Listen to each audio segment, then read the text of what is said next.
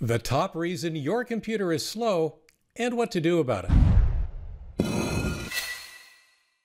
Hi everyone, I'm Leo Notenboom for AskLeo.com, where slow computers have been a problem for folks since I started doing this back in 2003. You know, aside from malware, I would call slow computers one of the most common concerns that people bring to me. Uh, their computer has slowed down either suddenly or over time, and it's just not keeping up with what they need to do. There are many reasons that there can be slow computers, and I will definitely be covering some of those in future videos. However, I want to address what I consider to be the number one reason that computers end up slowing, particularly if they end up getting slower and slower and slower over time. Too much software. It really is that simple. When I run into folks' computers that are experiencing a slowdown problem, one of the first things I do is I go take a look at what kind of software they have installed and how much of it. What I usually find is, for lack of a better term, buckets of software and software that they didn't even realize was there, software that they didn't know, software that they're no longer using, maybe software that they tried at one point and never ever uninstalled.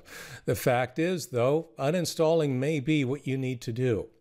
Here's the issue it shouldn't hurt to install software. Seriously, Installing software on your machine really is all about copying files to your hard disk, maybe setting up some registry entries, maybe configuring a few defaults.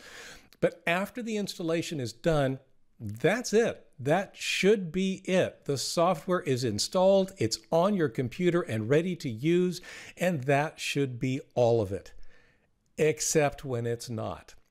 One of the things that a lot of software packages install are software that start when you log in to Windows. So when you log in, this software application may very well have a little helper utility that it needs to run or decides that it wants to run every time you log in, and it's always running in the background. By itself, it's probably not that big a deal. It's probably not doing all that much. The problem comes in over time when you install additional packages and more and more and more of them all include these little utilities that are always running and always taking resources and always, always, always around. Eventually, all of those little utilities add up to something significant and they can also end up taking resources away from the stuff you really want to do. Now, to be fair, software that starts when you log into Windows isn't bad by itself. There are reasons why you might want something like that. A great example is after you install Dropbox, yeah, the Dropbox software needs to be running all the time in order to perform the task that you're asking it to perform. It's the nature of Dropbox. It's the nature of OneDrive. It's the nature of Google Drive. That's the kinds of service they provide require that they have a component that's running all the time. On the other hand, many years ago, Microsoft Office used to install something that they called the Microsoft Office Quick Launch Bar, which sounds impressive. It's kind of interesting, except it was really doing nothing useful. Its job by running all the time was to keep Microsoft Office ready so that when you ran Microsoft Word, for example, it came up a little quicker. The cost, of course, was that this application was running all the time. And if you only ran Microsoft Office applications once a week or once a month, well, the whole thing running all the time just didn't make any sense.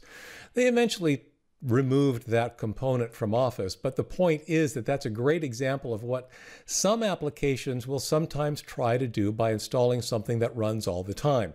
They try to make their application look better at the cost of some of the other applications that are running on your machine.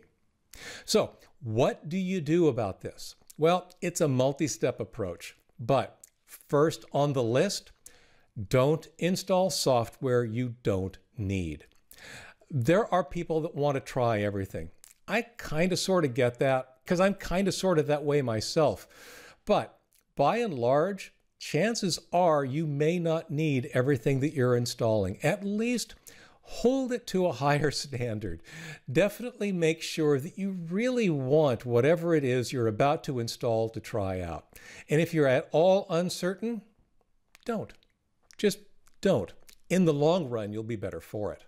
Uninstall software you don't use. This one's really easy to overlook. You do install something, you do use it for a while, and for whatever reason, you stop using it. Maybe the need goes away, maybe it's replaced by a different application that solves the same problem, whatever. Point is that you've got this application installed on your machine that you no longer use. So, uninstall it, get rid of it. If it has a run all the time component, that'll get uninstalled as well, and it'll be one less thing running all the time. Even if it doesn't have one of those components, it's one less thing to slow down your machine, either by taking up disk space or who knows whatever else. Turn off auto start options. This is one of those cases where, yeah, there are applications that you will have installed on your machine that you want to keep installed on your machine that you'll want to turn off. I'll show you in a minute one place to look for exactly that. Review what's in the notification area. Let's go ahead and look at Windows and some of the things I've been talking about here. The, this is Windows 10 Home. I'm running the Settings app and we'll go and look in Apps. This is a list of the software that's installed on your machine. Since this is a relatively clean installation of Windows 10, it will show you the kinds of things that will get pre-installed on your machine. This is relatively clean. At this point, if you want, you can, for a lot of these things, uninstall the components that you don't want. That's fine. That's up to you. Most of these are not big offenders in terms of having applications or having components that run all the time. Nonetheless, they may take up clutter elsewhere, like in your start menu where you don't want to see them. So it's a great idea to come in through here and just sort of, for the applications you know you don't use, don't need, go ahead, hit uninstall. It'll get removed and it's just not a problem. If you're uncertain, don't. It's the safest thing to do. Just don't uninstall unless you're certain you don't need something. But for example, um, what did I just see come by here? Uh, Paint 3D. I never use Paint 3D. So we'll just go ahead and uninstall Paint 3D. There's simply no reason to have it around. Now, this, as I said, is a clean install of Windows 10. I haven't done a lot to this system. It's my example machine. What I'm going to show you next is actually the same settings in my primary machine, the machine that is currently um, running my video recording software and, and actually handling the heavy lifting behind creating the video that you're looking at. And you can see here that, yeah, I've got a lot of things installed. Um, this is a very, very long list of software that's installed on my machine. Now, I am not necessarily one to install things just for the fun of it. So there's actually a relatively good reason for almost everything on this list.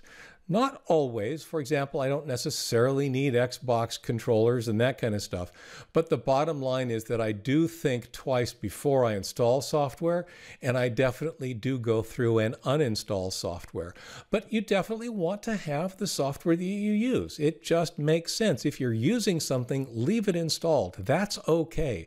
It's the stuff that you don't need that you want to get rid of. If we go back to my Windows 10 home system, there were two things that I suggested you look at. One was auto start options.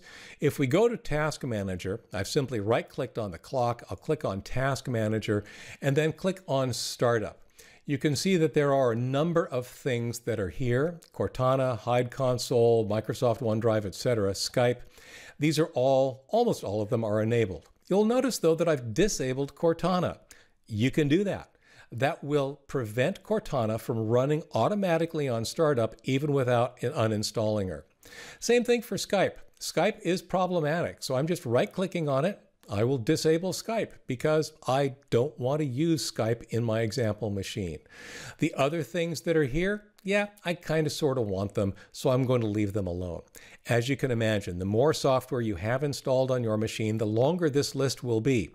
Same rule of thumb. If you know that you don't need something, feel free to disable it. It's very hard to damage anything. If you're not sure, probably leave it alone. You can experiment. It's probably safe, but it's probably safer to leave it alone because it'll probably affect the functionality of something else on your machine. Now, the other thing I mentioned earlier was checking the notification area. The notification area is the lower right-hand part of the taskbar. In other words, it's this area down here. Most importantly is this show hidden icons. Each of these icons represent software running on your machine. This is another clue for the kinds of things that you might want to consider whether or not you really need, whether or not they need to be running all the time, or whether or not they need to be uninstalled. Skype, for example, well, I disabled its automatic startup, but it's still running. So I'm going to go ahead and right click on it and say quit Skype.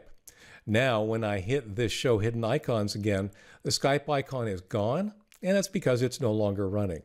This is folding at home. I'm currently not running folding at home, so I'm going to go ahead and quit that.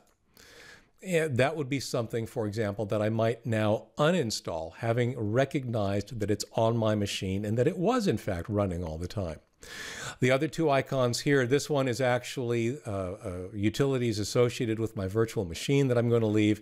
And Windows Defender, of course, is not something that you want to turn off. You want to have your security software running at all times. There's Microsoft OneDrive. Same idea. If you use OneDrive, it is something you want to have running all the time. If you don't use OneDrive, well, you can disable it, you can turn it off, and you can not have it running all the time. But when it comes to slow machines, by far, literally by far, the number one reason that machines slow down over time is simply that they're trying to do too much. And by do too much, that is often simply nothing more than having too much software installed and running at the same time. For the article on which this video was based, for updates, for links, for comments, visit askleo.com slash 125530. I'm Leo Notenboom. This is askleo.com. Hope that was helpful. Thanks for watching.